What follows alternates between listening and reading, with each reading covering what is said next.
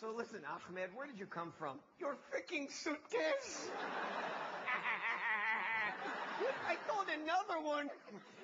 Look, if you've been in my suitcase all this time, how have you been getting through security at the airports? Oh, that's easy. They open the case and I go, hello, I am Lindsay Lohan.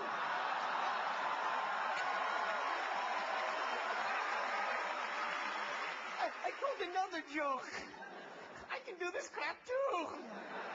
Okay, here's another one. Two Jews walk in a bar. No, no. What? No. What? You don't let Jews in your bar? You racist bastard. what I mean is, I don't want racist jokes in my act. Oh, okay. How about if I kill the Jews? No, I'm kidding. I would not kill the Jews. No, I would toss a penny between them and watch them fight to the death.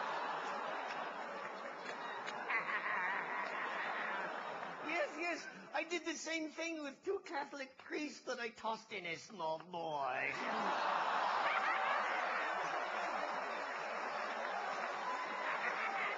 yes, yes, and the winner had to fight Michael Jackson.